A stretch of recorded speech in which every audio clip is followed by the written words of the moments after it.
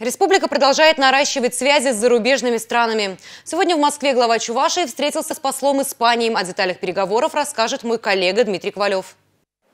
Чувашская республика и Испания намерены сделать новый шаг навстречу друг другу. Об уже реализованных проектах и перспективах шла речь на переговорах в резиденции чрезвычайного и полномочного посла в России. К региону европейские партнеры проявляют большой интерес.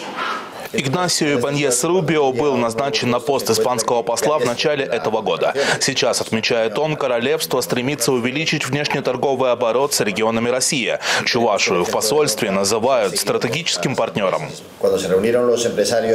Товарооборот между Королевством Испании и Чувашской республикой снизился. Но мы предполагаем, что в скором времени ситуация улучшится. Мы заинтересованы в продуктивном диалоге. Нам есть что предложить региону. Республика интересна испанскому бизнесу. Наши предприниматели знают, что в Чувашии можно реализовать даже самые амбициозные проекты. Такие примеры действительно есть. Семь лет назад испанская компания «Рока» открыла в республике завод по выпуску акриловых ванн. Предприниматели отмечают, что для развития бизнес-проектов в Чувашии нет преград. У нас даже есть четыре э, испанцы, которые приехали жить э, в Чуваша из таких городах, как Севилья, Мадрид. И сначала у нас было сомнение, адаптируются они на, на жизнь в таком климате, в таком...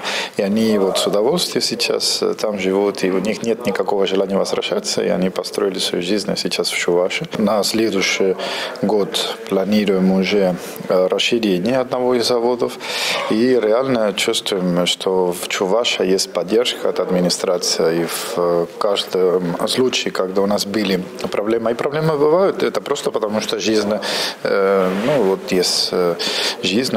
Стороны детально обсудили вопросы товарообмена. Испании интересна чувашская электротехника, сельхозпродукция. Обсуждается и возможность реализации проектов в сфере медицины. Если взять в целом внешнеторговый оборот, э, понятно, по объективным причинам он у нас упал, и между Россией, и между Испанией, но в этом году мы уже за 8 месяцев почти что вышли на годовой уровень прошлого года. Рост составляет почти 25%. В экономическом плане наши организации, которые занимаются коммерческой деятельностью, деятельностью закупают сырье от производителей э, компании из Испании.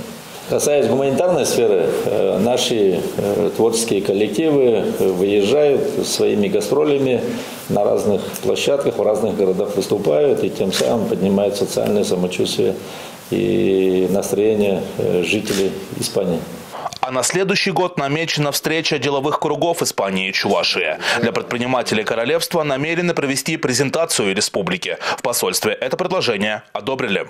От переговоров на высшем уровне ждут большого эффекта. С конкретными проектами испанский бизнес готов прийти в республику в ближайшие годы.